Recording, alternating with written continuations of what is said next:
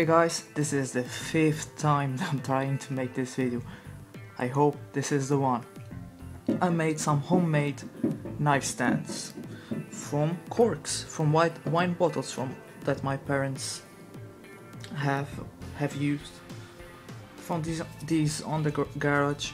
Just made them a few cuts, and they are perfect. In my opinion, they look really good.